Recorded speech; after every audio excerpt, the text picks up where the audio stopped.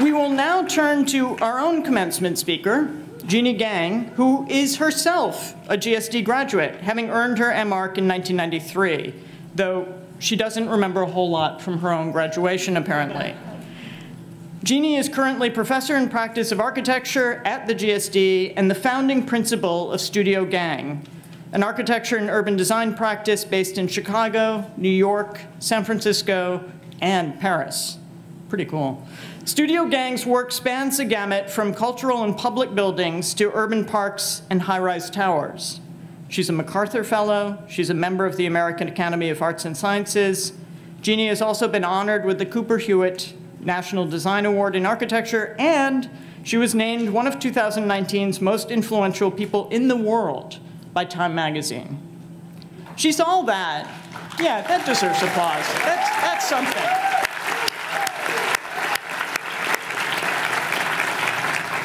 Jeanne's all that, but on a personal note, I think she's much more. I have to say that I know few architects who are equally obsessed by architecture and by equity. Equity for Jeanne means creating projects for all members of the public, but also for the environment and for all living beings in the world. And despite all the challenges of the world, and despite the challenges of running an office with how many people, how many projects, Jeanne remains an idealist. She goes further than mere idealism. She speaks frequently of what she calls design's actionable idealism, its ability to create public awareness and instigate positive change. And that actionable idealism is exactly what we need right now. So please join me now in welcoming a GSD professor, a remarkably accomplished architect, an actionable idealist, and a friend, Jeanne Gang.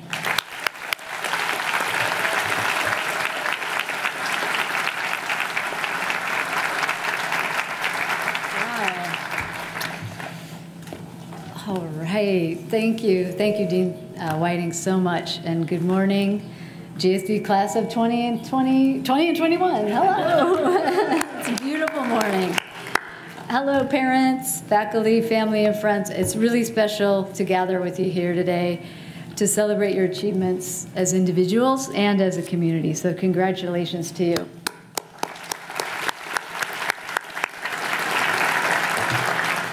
As you're well aware, today you're in this very unusual position as GSD class who's already graduated, who are just now participating in this kind of deep tradition of an in-person graduation ceremony.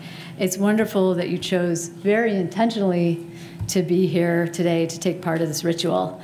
And I'm sure you did it for yourselves, I hope, and your families but probably mostly to be with your classmates. Um, and I hope a little part of you did it for your former professors as well. And because this faculty here in front of you is very proud of you and um, really happy to be a part of your GSD experience. Um, you know, when you were students at the GSD, part of the work was really finding your individual voices as designers so through your coursework and design work, you developed your priorities, your ways of ordering the world. Um, and so as you collect your diploma today, I hope you're remembering the hard work you put in, the focus that it required, the sacrifices you undoubtedly made to achieve these well-deserved degrees. But since you're also sitting among your colleagues, I hope you're also remembering the connections you formed and the shared activities many of you undertook. Zooming together, helping each other on final projects, reading each other's papers, critiquing each other's words. In other words, supporting each other to grow as both designers, but also as people. Um, and equally important, I hope you're remembering, as Sarah just mentioned, the intellectual positions you established collectively, the ideals that you helped to shape how you stood up as leaders to help craft responses to the very difficult situations presented by our society while you're, you were here at the GSD. And each and every one of you took a stand on difficult issues the world presented and continues to present from horrific examples of racism and sexism to the realities of climate disasters around the globe and the role of the built environment in contributing to climate change and injustice. James Baldwin, an American writer and activist, believed that students' awakening to the troubled realities of the past and the present was a core part of their education. In an address that he delivered to a group of teachers in 1963, amid mass protests, great hope, and violent backlashes um, of the civil rights movement, he famously said, The paradox of education is precisely this that as one begins to become conscious, one begins to examine the society in which he is being educated. So you are not just learning skills and theory and history and design during your years at GSD. You were, as Baldwin says, examining with a critical eye the greater context in which your learning was taking place.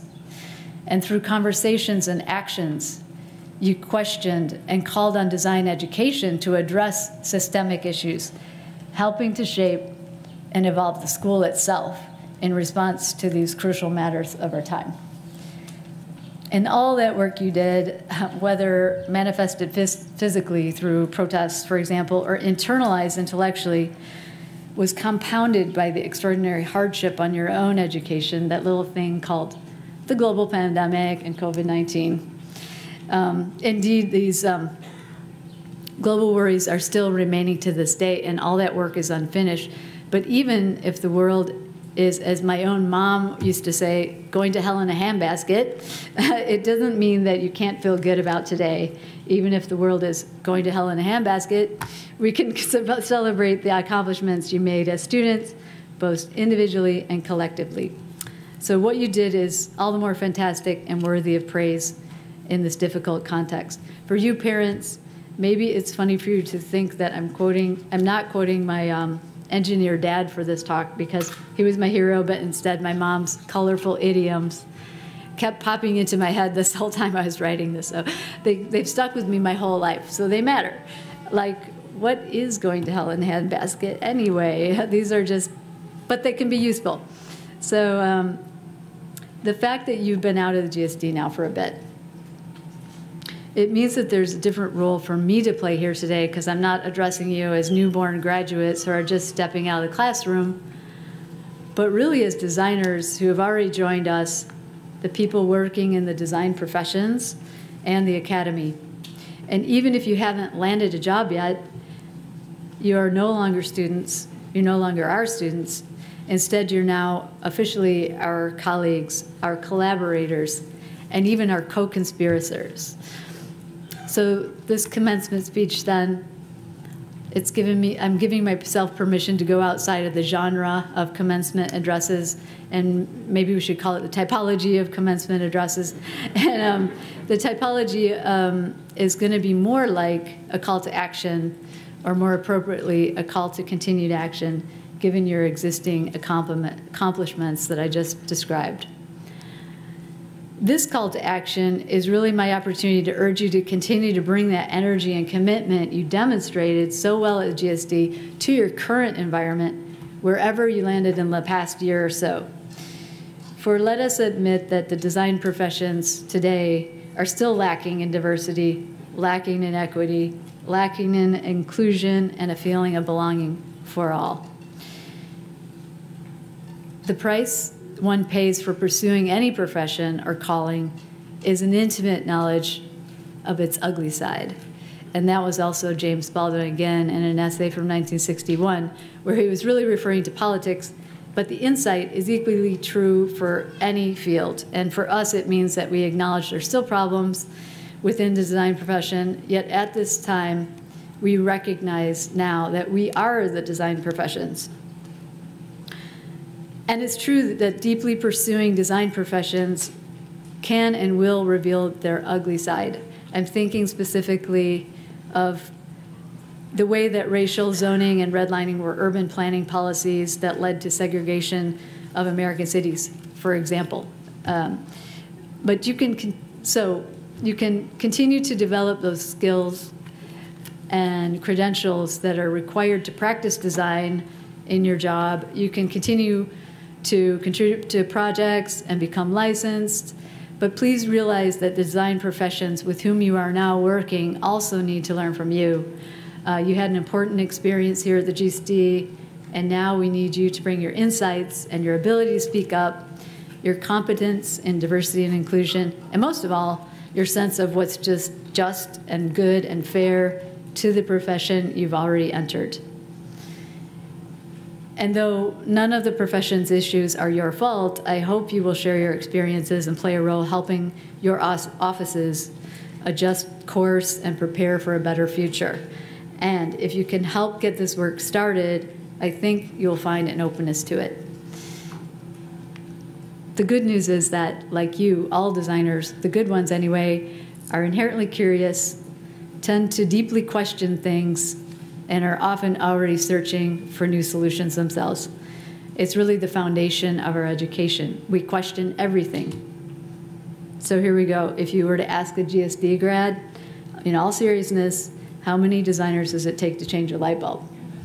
You'd probably get an answer like, does it really need to have to be a light bulb? I mean, why does it have to be a light bulb? I mean, because I got this other idea. Just kidding, but we are questioning. I thought there would be more laughs than that, but anyway. um, yeah, I mean, because this is a silly group, I mean, when you get them all together, you normally. Um, for designers, I think new possibilities are always available. And in other words, to be a designer is to be comfortable with change. Change is in our DNA, and because we are the design professions, when we change ourselves, we can change the profession. So I've been speaking of the collective community you are now a part of, but let's get back to your individual goals and the, your individual point of view. The voice that you developed at the GSD. How can your particular gifts and interests as a design as a designer or planner or landscape architect or urban designer fit into these larger movements of change? Is it necessary to squash your own creativity and your desire to make something beautiful in order to serve the greater good? How do concerns of the individual and the collective come to confront each other in our current world? When I started my office studio gang, I was never looking to be famous or wealthy or powerful. I was in search of one thing it was freedom creative freedom to approach design with my own individual sensibilities, and freedom as a leader to organize the work of design in a different way than what I saw happening at the time. You see, many architecture office cultures back then, uh, they followed what was called the Darwinian model. It was, it was natural selection and survival of the fittest. Only their definition of who was the fittest was almost always someone who was the same race and gender as the boss, and nature had nothing to do with the selections, let me tell you, for promotions, etc.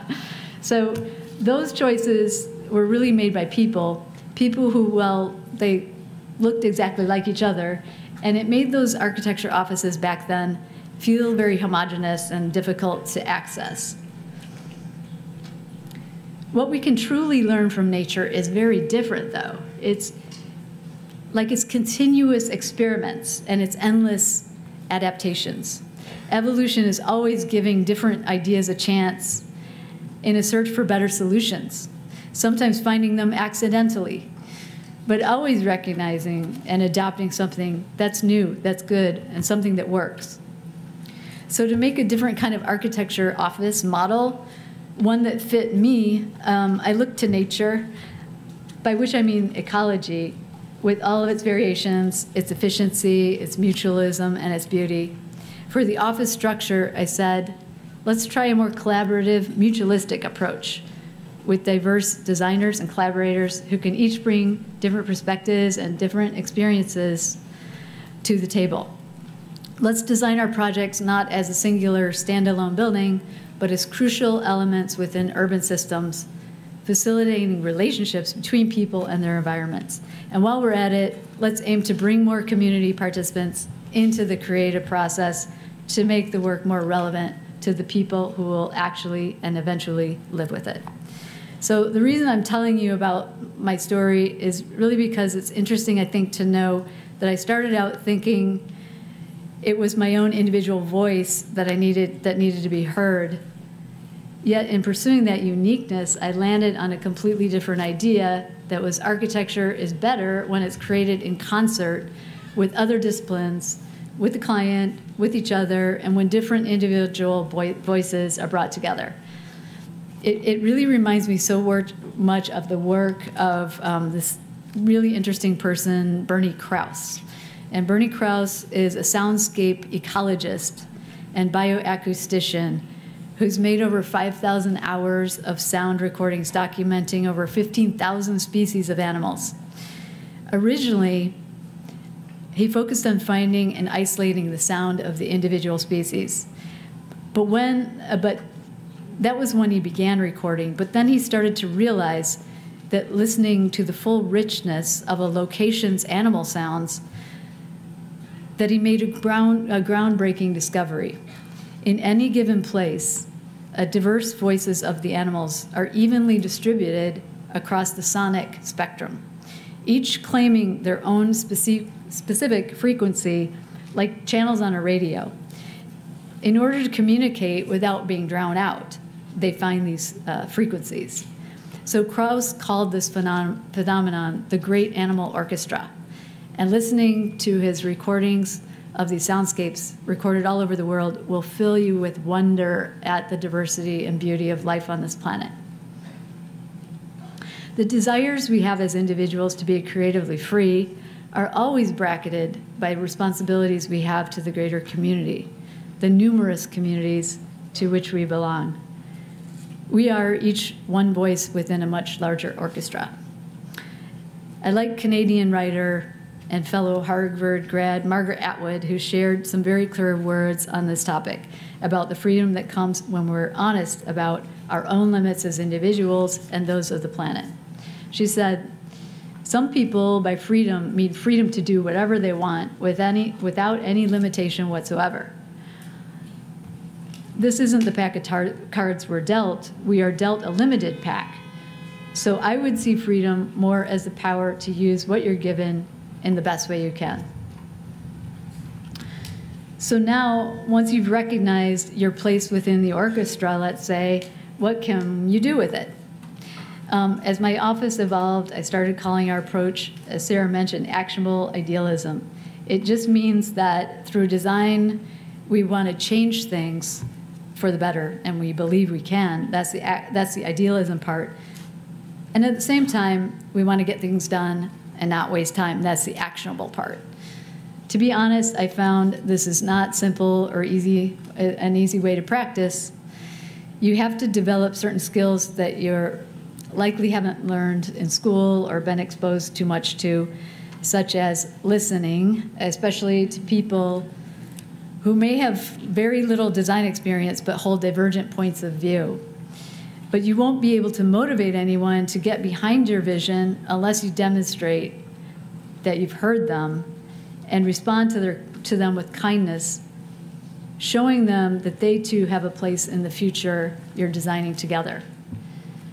And then there's compromise, which many view as giving up or losing your freedom, but which can actually improve design by forcing you to define and defend the essence and let go of what is extraneous.